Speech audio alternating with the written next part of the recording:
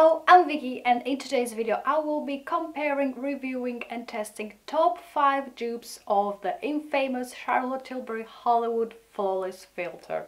Now this thing has been on my wish list for ages and I just couldn't justify spending 39 pounds on the makeup product like this for me is absolutely ridiculous and because of that I got it anyway, but as a gift for my birthday because yeah, I just asked this as a gift. I just can't understand how this thing can be so expensive. But this is the reason of this video because today we'll be trying to find a dupe that is as close as possible to this thing, which is much more cheaper and kind of the same thing, right? Now I'll try to divide my face in four equal spaces so I can add on my face all of the dupes including the OG and we'll compare on a nice close-up and see which one is the best. Before we get into the dupes, we gotta chat about the one and only Flawless Filter. It's a tinted glowy serum-like liquid that leaves your skin with a lit from within glow, whether you use it as a primer to give your foundation some dewy radiance or you dab it over your cheekbones for a subtle highlight.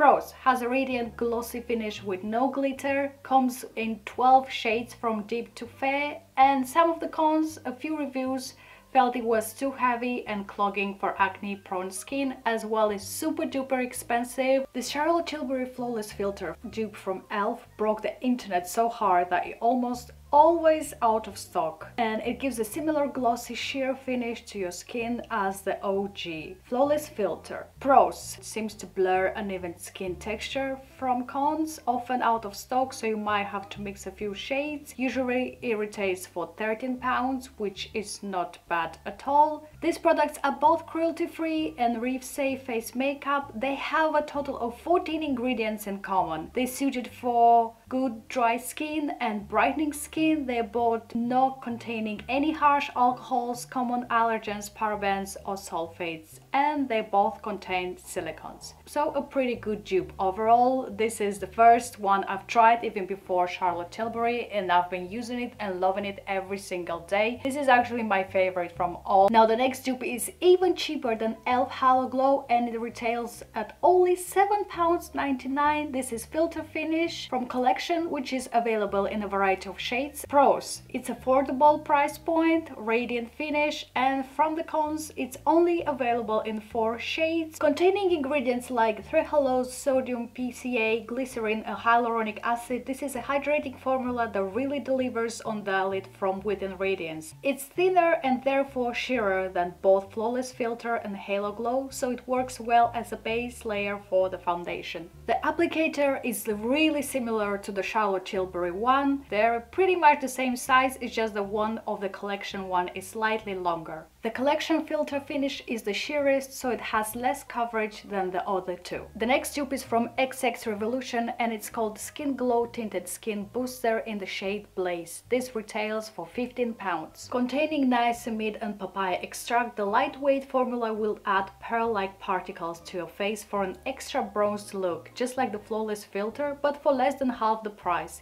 It's also cruelty-free and vegan. Pros it has a hydrating formula, makeup sits comfortably on top, from the cons only available in 5 shades. Just like the collection, they just can't master the art of creating a variety of shades for more people and this is a big minus. The next tube comes from Revlon and it's called Skin Lights Face Glow Illuminator in the shade Sunrise Luster and this retails for £9.99. Seriously, this is such an underrated dupe. It leaves the skin dewy, reflective. From the pros, it blends in evenly with your fingers or a sponge and from the cons, lightest shade may be too dark for fair skin tones, which to be honest, I think it's a problem with the majority of them. The formula boasts refined pearl pigment similar similar to Flawless Filter for even application and the lightweight formula moisturizes without feeling greasy or cakey. Okay guys, let's draw the line. Which dupe is the best?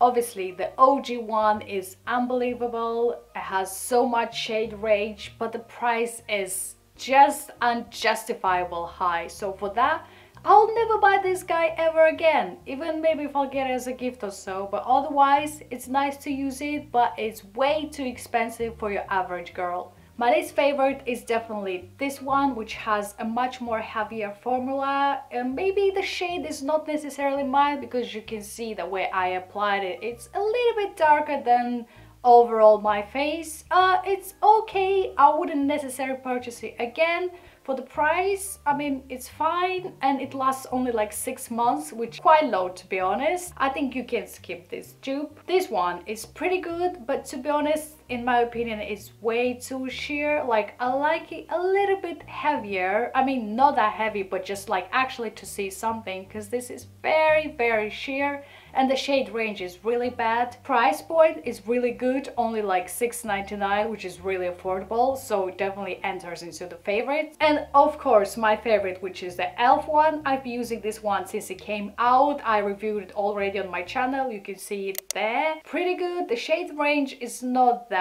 good. Its price is alright.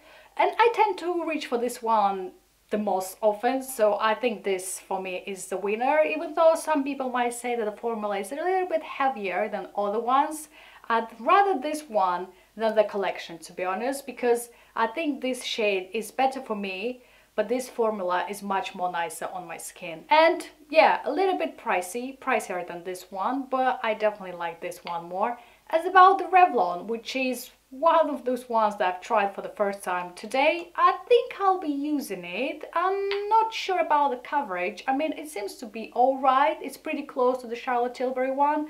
Very nice formula. It leaves the skin like sun glow kissed, which is always what I want to have. Yeah, I mean, I think we have some really good dupes here and I think you can save your coin. Anyway, guys, I hope you enjoyed today's video. If you did, please give it a big thumbs up, to subscribe and see you next time.